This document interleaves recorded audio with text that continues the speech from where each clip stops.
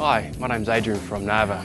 If you've ever considered buying a set of driving lights, you've probably asked the questions, what's the difference between halogen and HID?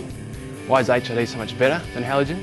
And why is HID so much more expensive than halogen? They're great questions and today we're going to do a crash course on the technologies involved in both. Let's go to our lab and we'll have a look at them. So here we are in our lab and I've got two globes with me, a halogen and a HID globe. They both do the same sort of thing, they both produce light, but the way they do it is pretty different. The halogen globe consists of a glass envelope and it has a metal filament inside. So when you flick your lights on, the wire element heats up and reacts with the gas and produces the light. Now halogen globes are available in different wattages. The higher the wattage, the more light is produced. The way halogen globes are made is pretty economical, so they're reasonably priced and that makes halogen driving lights affordable for most four-wheel drive owners. The downside with halogen is that the wire filament is pretty fragile and that means when you go over lots of corrugations and vibrations, it's prone to breaking and that can shorten the life of the halogen globe. The other thing is that they draw a lot of power, so whether it's 100 watt or 130 watt for a high wattage globe, you leave them on while you're stopped. It's going to draw a lot of power from your battery and you can run the risk of flattening your battery. Now let's have a look at our HID globe. The principle is the same in that it has a gas inside the glass tube, but the way it ignites is different from halogen. There's two electrodes, and when the globe's ignited, an arc forms between those electrodes, a little bit like a welding arc. Now that arc reacts with the gas, which is a xenon gas, and that produces an extremely brilliant white light, much greater than a halogen globe. The use of this technology means there's no filament to break either. That makes them impervious to vibration and ideal for the most demanding four-wheel drive applications.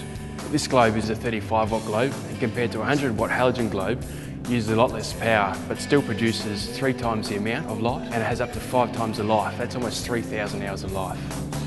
The light produced by HID is also better quality light than halogen. Now better quality light means a whiter light, a light closer to that of daylight.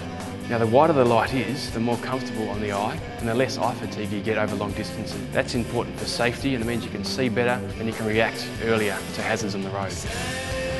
HID is more complicated than halogen. It uses three components to produce the power. The first is a ballast. Now the ballast takes power from the battery and it produces a high current and sends it to the igniter. The igniter ignites the globe and that reacts with the gas produced in the light. Now one thing to look for when you're buying a set of HID driving lights is the ballast.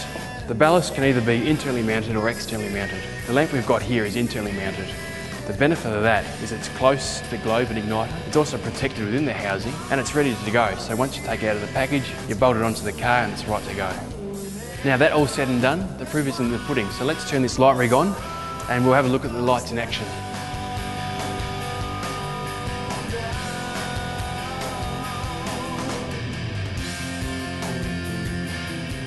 So whether you choose halogen or HID driving lights for your vehicle, both will be a vast improvement on your standard headlights. To sum up, halogen is an affordable option for driving lights, but HID is a more sophisticated technology and produces far better and whiter light. Hopefully that's given you a good understanding of the differences and why HID is more expensive and why it's also better. But ultimately it comes down to your budget and what sort of driving you're going to do. All the best on the road and here at Narva, it's bye for now.